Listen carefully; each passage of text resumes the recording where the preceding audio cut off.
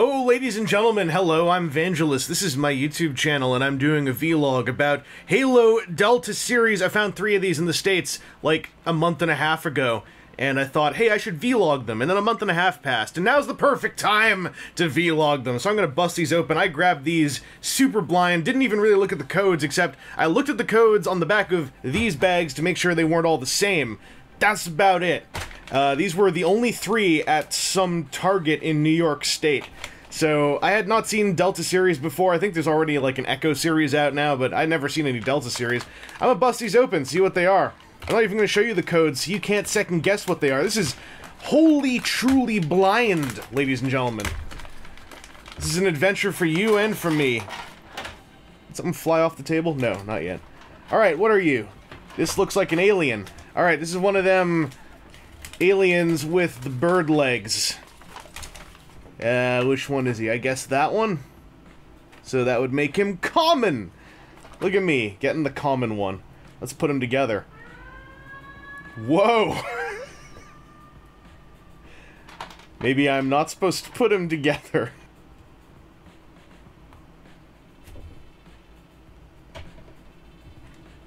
And that's how we do it. So this is a little guy who's uh, not the Arbiter, but I tend to call them all the Arbiter because I'm an alien racist.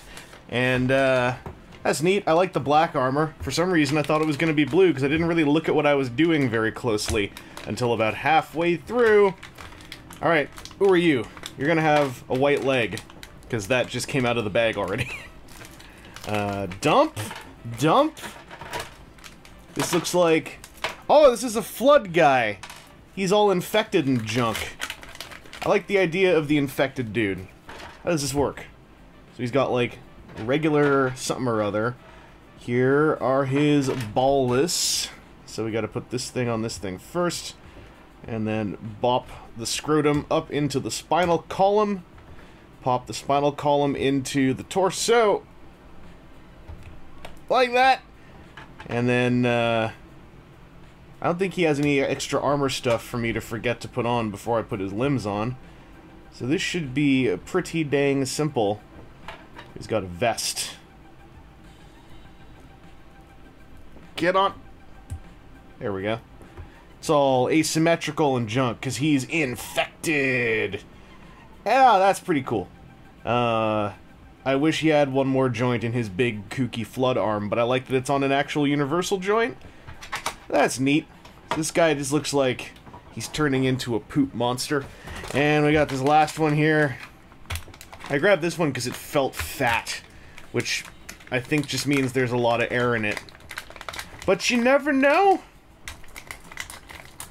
Let's get this. Uh, let's get this paper out. For this last one, I oh okay. It's just this. It's one of these idiots. That's disappointing. I don't like these little idiots that much. I, what are they called? Grunts? S squidglings? I can't stand the Halo squidglings. Because uh, they, they feel very much like old, very old toys compared to the rest of this stuff.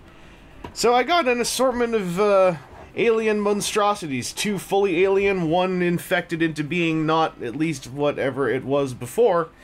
So uh, that's my Delta Series collection. I mostly just wanted the pink one. Uh, I didn't get the pink one. I guess I should just go get a code sheet if I see these ever again.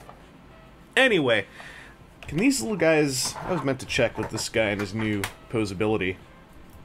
Can he do a rider kick? Not super well. Oh, he can try. Little Covenant rider kick. Speaking of rider kick, come back to this channel on Monday.